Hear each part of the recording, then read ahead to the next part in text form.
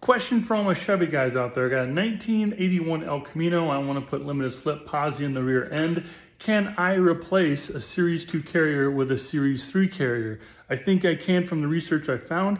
I just have to shim it over. Let me know.